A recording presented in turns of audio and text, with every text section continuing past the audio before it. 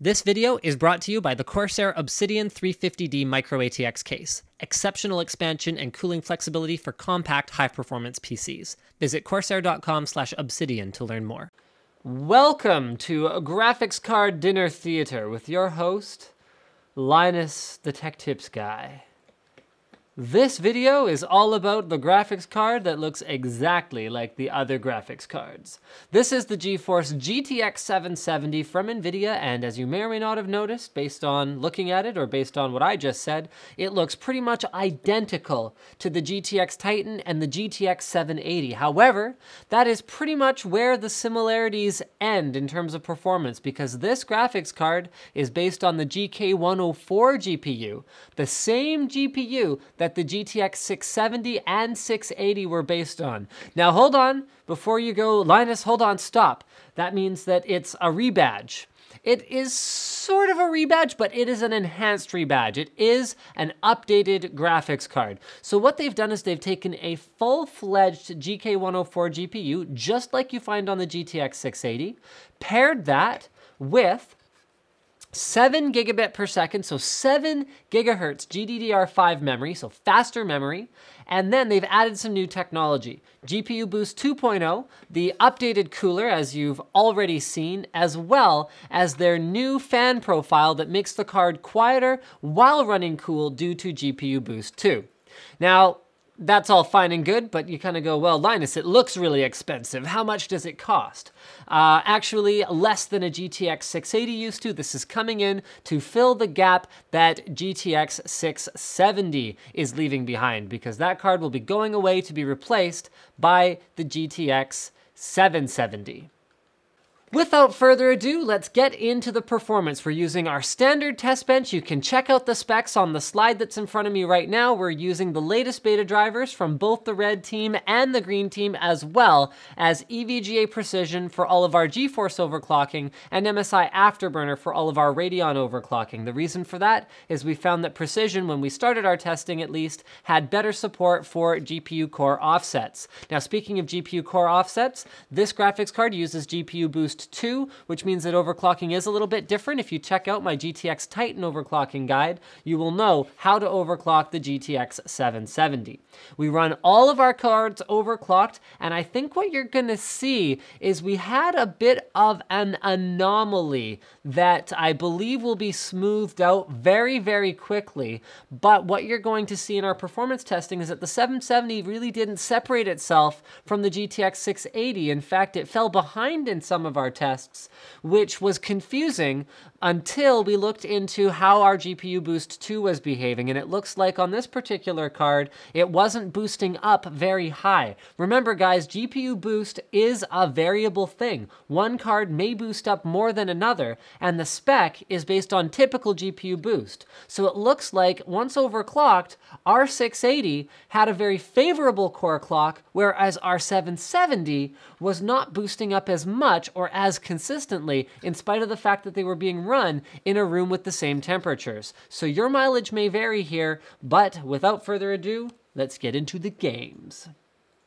Metro Last Light is our first game up, and you can tell where the performance comes from in this game. It comes from memory bandwidth. The top two cards are GTX Titan and GTX 780, and they are so far ahead of everything else, about 30% faster than anything else that is even trying to run this game. Next, you've got the GTX 770. Remember that 7 gigahertz GDDR5, that's making a difference. In spite of its 256-bit memory bus, it still pulls ahead by an ever so small edge against the 7970 and 7950 from AMD. And then if you look at the 680, 670, and 660 Ti, they really fall behind because they're not using the same advanced memory that you find on the 770. In Tomb Raider, we once again see GTX Titan and GTX 780 just run away with it. Then we see a clustering of cards that's all pretty much within margin of error. Our 680s in there, our 770s in there, our 7970s in there, our 7950s in there, and only the 670 and the 660 Ti really fall behind in this particular benchmark. In Crysis 3, we're gonna see that same pattern again with the Titan, the 780, and then everything else except the 660 Ti where we really see it fall behind compared to the other cards. This is uh, becoming a bit of a pattern here, and uh, it's probably going to continue.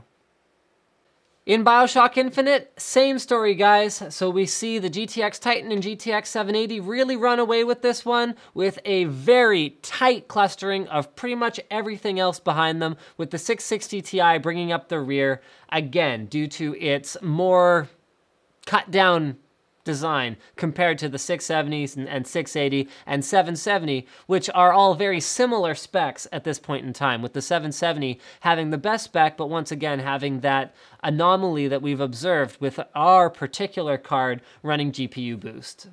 Once again in Far Cry 3, we see the Titan and the GTX 780 really run away with it, and everything else is very, very tightly packed within about a 10% spread after that with the GTX 660 Ti really falling away. Bearing in mind, of course, that a 660 Ti is significantly less expensive than most of the other cards that are in that, sort of, that top tier.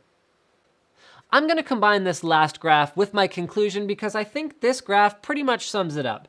GTX Titan and GTX 780 are here. Everything else is here. So the GTX 770 is a very evolutionary step forward in terms of performance. Yes, it performs better than a 670. Yes, it's less expensive than a 680. It looks better. It has a more updated feature set. NVIDIA's rolled out GeForce Experience, which updates your drivers for you as well as gives you recommendations for how to run your games.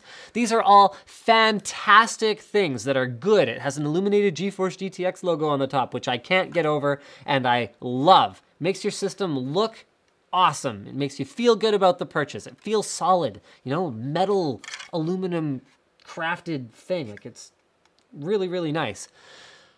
However, the GTX 780 is the one that really looks like the compelling value to me because even though it's extremely expensive, we're talking about, you know, well over $500 graphics card, that's the one where you're getting nearly that Titan performance, which is the cream of the crop when it comes to a single GPU. Nothing touches it. I mean, you've seen from these graphs, nothing's even close except the GTX 780, and the GTX 780 costs significantly less than a GTX Titan.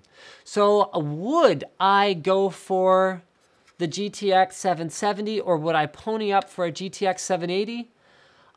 I think I would personally probably save my pennies and go for the 780. I wouldn't jump all the way up to the Titan because you can see for that extra money you're spending, you're not getting that much more of a performance increase, but that's that sweet spot right there that the 780 hits.